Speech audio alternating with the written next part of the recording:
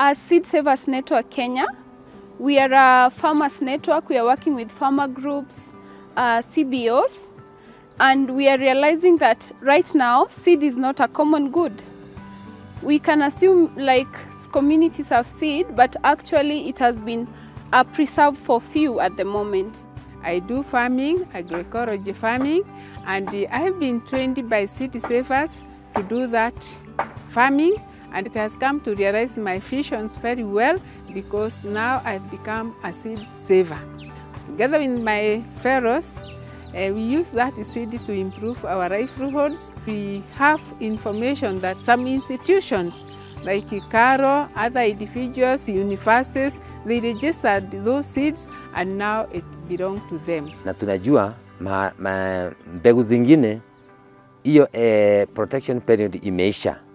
Ni vibaya sana for all those years tuwe tukilima na ni kuproduce tu chakula peke yake, instead ya sisi, na tumepata mafunzo ya kutosha kutoka hawa watu wa seed savers na washikadau wengine.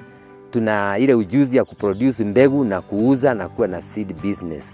As a matter of request, if they have come to get to the expiry date of those priority protection, they release them to farmers so that we can continue multiplying them and giving food and nutrition to our communities and our country at large. The main challenges for the farmers or small-scale farmers is uh, the packaging of the seeds.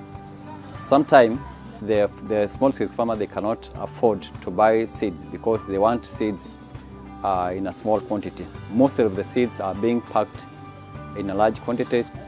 On the other hand, we have uh, the, the farmer cannot access some of the seeds, maybe uh, maybe like of uh, sorghum and all that, but they cannot access because we don't have the market for, the, for them. The people who have registered varieties that are climate resilient, they need to be able to provide this to communities and especially to community seed banks so that they are, uh, these varieties can be commercialized through community seed banks and more people can access them.